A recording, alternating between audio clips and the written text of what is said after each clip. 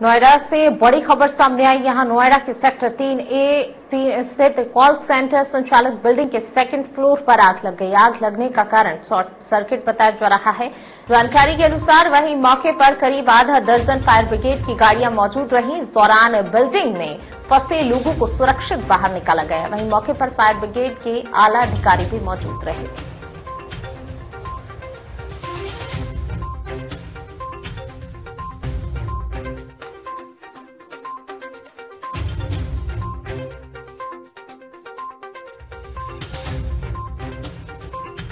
जो ये सुपरवाइजर थी मैनेजर थे अपने जितने यहाँ के बंदे मैनेजमेंट बंदे सब ये सूचना ही जल्दी जल्दी आए। हाँ। आप फायर वाले फ़ोन तुरंत आगे आ गए थे हाँ जी बिल्कुल सर। अच्छा। आग कैसे लगी हाँ शॉर्ट सर्किट की वजह से। किस किसमें लगी आग? कहाँ पर क्या कंपनी हाँ, है? जी कॉल सेंटर है। शॉर्ट सर्किट की वजह से हुआ है।